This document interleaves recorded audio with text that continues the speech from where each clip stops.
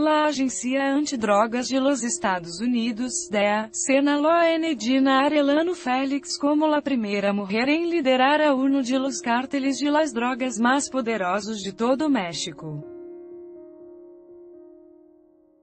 Enedina, apodada como la narcomami, es la hermana de los capos que mantuvieron una encarnizada rivalidade com Joaquim El Chapo Guzman, asumiu el control de la organización criminal por petición de la familia.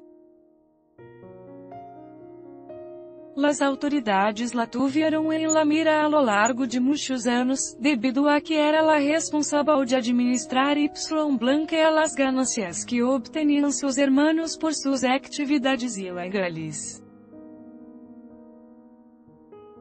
Sin embargo pouco a pouco se foi metiendo a mover las redes del cártel de Tijuana, a um que tratou de cuidar seus movimentos para passar desapercebida ante la Procuradoria General de la República, PGR. No fue hasta que em los reportes de la propia DEA y Y del Departamento del Tesoro de los Estados Unidos se señaló a Enedina de ser la cabeza de la organización criminal Y que debido a su labor como líder del cártel logró que se estendieran sus operaciones a Centro Y Sudamérica.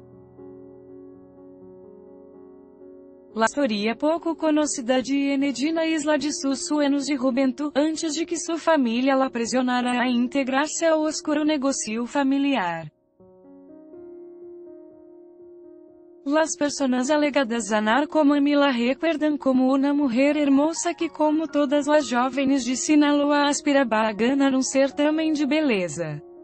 Cidais que era sidactora perspicaz y de carácter fuerte qualidades que lhe permitiram concluir sua carreira de contaduria em Guadalajara, y posteriormente, ser a primeira mulher em México e encabeçar um cártel. Com informação de um um Jalisco Y Laneta Notícias. Anime-te a comentar. Queremos saber tua opinião. Comentários Power de by Facebook Comments.